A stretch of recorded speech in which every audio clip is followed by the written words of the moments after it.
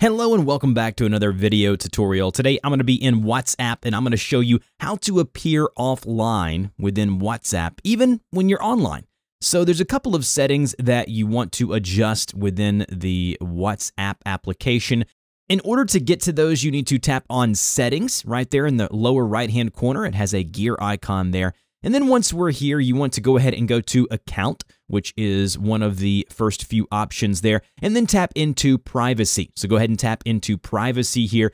And then the first thing that you want to change is the top option there, or one of the top options that says last seen. So if we tap on that option there, it goes to last seen. Change that to nobody. So go ahead and tap on nobody there. And then if you don't share your last seen, you won't be able to see others as well. It's letting you know, hey, listen, if you change this, uh, it'll also affect how you view others as well. But basically, what this does is that it removes that information for folks to be able to see when you've last been active on WhatsApp. So change that to nobody.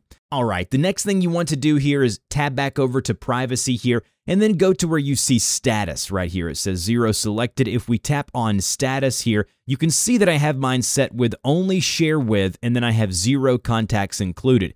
Yours is probably uh, selected at the top option there that says My Contacts, but if we tap on Only Share With, it'll have a list of all of our contacts here. Just don't select anyone and then tap on Done there in the upper portion of your screen, and that will not share any of your status information with anyone. So that kind of removes that option as well. And then the last thing you want to do is tab back over to the privacy options here, and then down uh, at the bottom or somewhere towards the bottom, you're going to see something that says Read Receipts. If we turn this off, that will make sure it removes the option to show other people when you have read their messages or, you know, not basically read something and haven't responded basically turning off the receipts to let those folks know when you have or haven't read that message. So those three options will allow you to appear offline in a sense on WhatsApp. There isn't just like a, a tab in here where we can go and tap into that removes us from being online while we browse everything. But if you do these three things, you will be